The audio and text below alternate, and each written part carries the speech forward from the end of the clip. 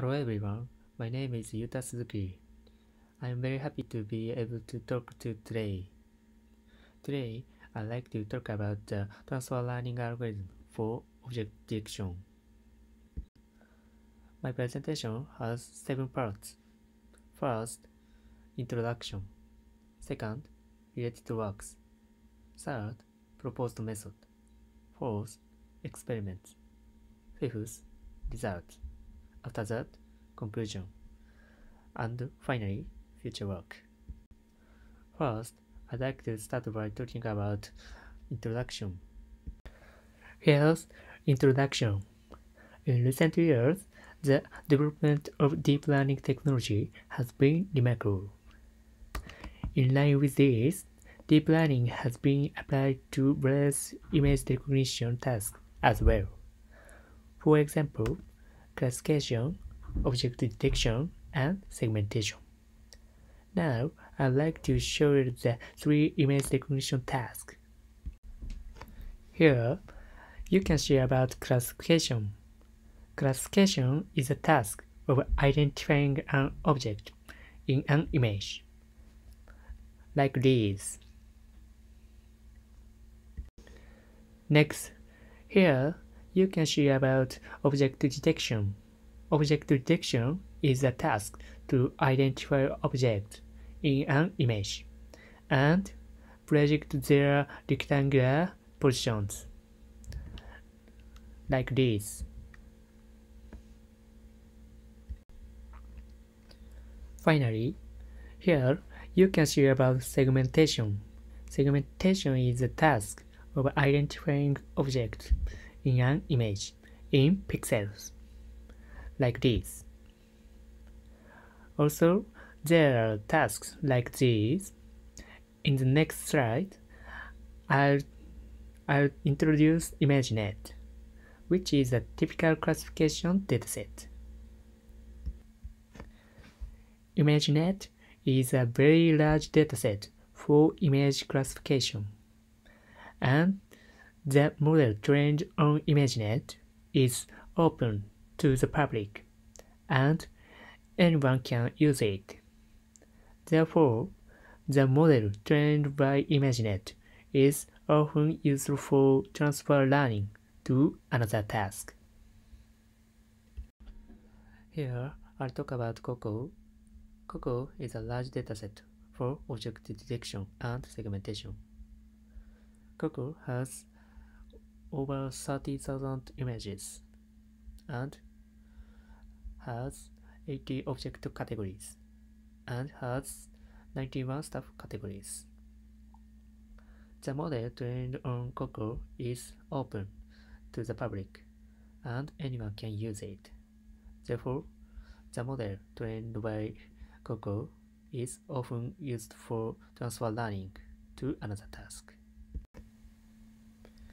Here, we have explanation of transfer learning. Transfer learning is a method of applying a model learned in one task to another task. Transfer learning makes it possible to create high-performance models even when there is little training data, because it uses pre-trained models on large datasets. Here, you can see fine-tuning, one of the transfer learning technique. Fine-tuning is a transfer learning technique commonly used in CNNs for image classification tasks. In fine-tuning, it is believed that the lower layer of CNN are learning general features and freeze the training in this area. As a result, fine-tuning works for the classification tasks, but not such much for the segmentation task. Here, I talk about problems in transfer learning for object detection. Like this table, when deciding on pre-training dataset, ImageNet is better in terms of dataset data size. but Coco is better suited for object detection task as a task. Now, here's the problem. Should we use ImageNet or COCO as a pre-training task?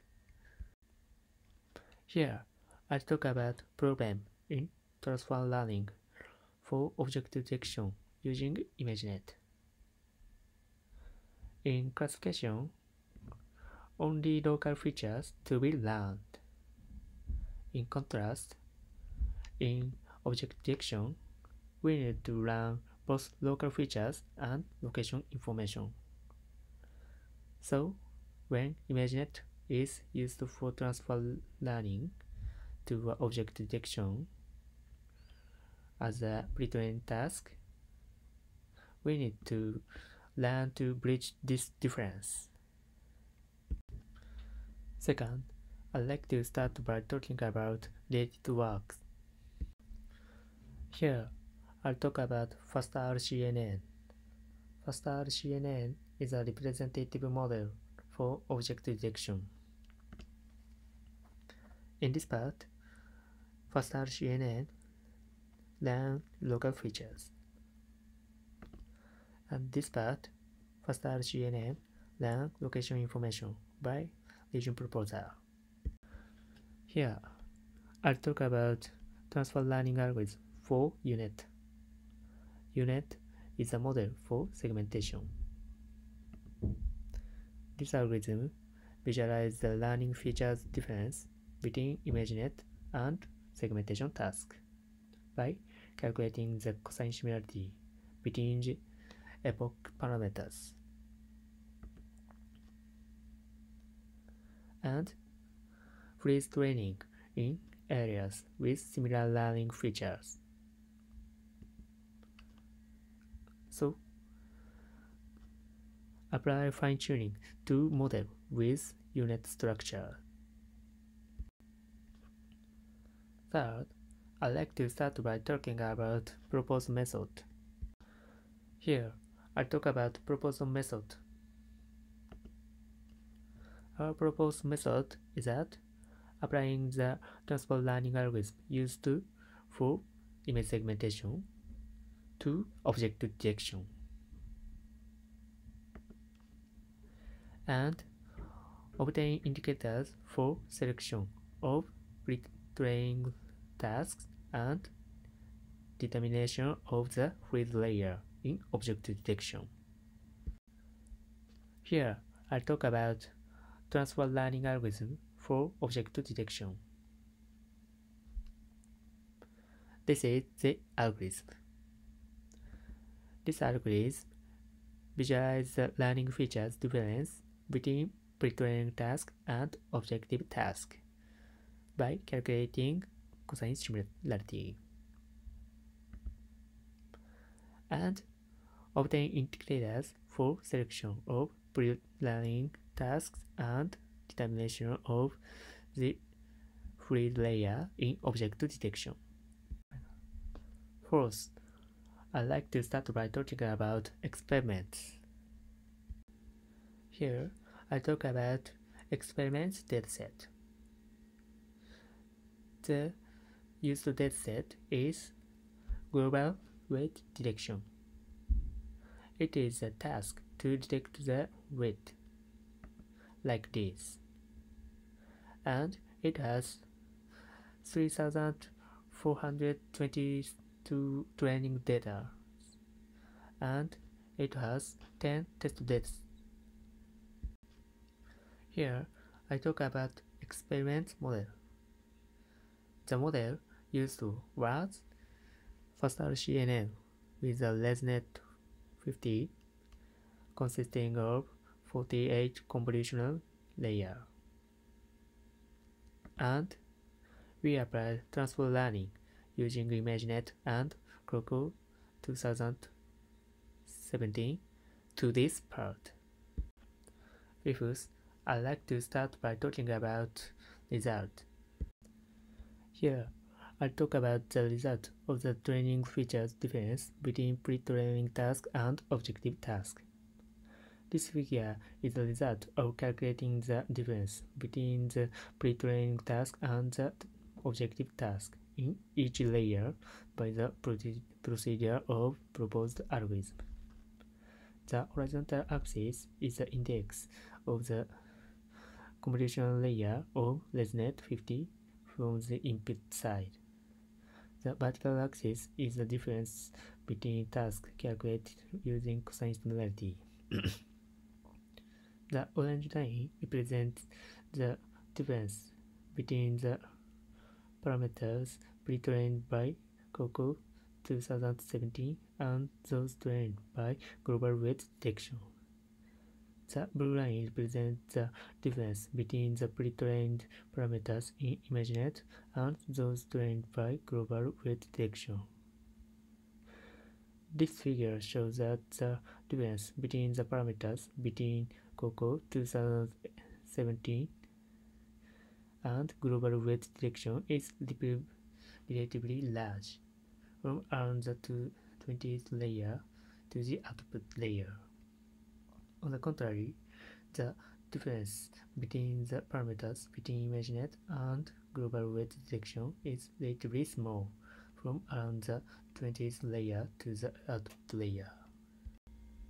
Here, I talk about results of fine-tuning. This figure is the result of applying fine-tuning to the ResNet 50 part of FastRCNN. The horizontal axis is the number of layers, where the parameter update is prohibited from the input side, and the fine-tuning is applied in increments of 5 layers. The vertical axis is a map. It is mean average position, which is um, an index to compare the accuracy of the object detection. The orange line is the result of pre-trained by COCO 2017 and applying fine-tuning. The blue line is the result of pre-training by ImageNet and applying fine-tuning. This figure shows that the model pre-trained by ImageNet has higher map in all in all cases except for the case where the applet of 10-layer parameters is prohibited. Therefore, we can say that the model pre-trained by ImageNet is more suitable for pre-training of global wheat detection. From the result, from the, this result, we can also read the relationship between the number of layers where parameter updates are prohibited and the map at the time. There was no significant difference between ImageNet and COCO 2017 when parameter updates were prohibited for 10 to 15 layers, but when parameter updates were prohibited for more layers, the model pre-trained by ImageNet recorded a uh, higher map. From these results, we can see that it is more effective to adopt a model with small difference as pre-trained model. It can also be seen that prohibiting the update of the weight, weights of the layer with large differences reduces the performance. As 6, I'd like to start by talking about conclusion. Here's conclusion.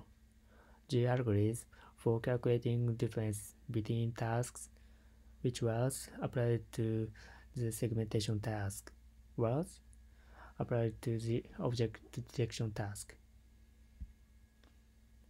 As a result, we are able to calculate the differences between tasks in the object detection task and it could help in the selection of pre-trained model and the decision of which layer to profit parameter plate. Finally, I'd like to start by talking about future work. Here, I talk about future work. In this study, we are able to calculate the difference between tasks in the object detection task, and it could help in the selection of pre-trained model and the decision on which layer to prohibit parameter updates. But this part seems to be not practical. So, in future work, propose an algorithm that can determine pre-training model and freeze layers. That concludes the presentation. Thank you very much for your attention.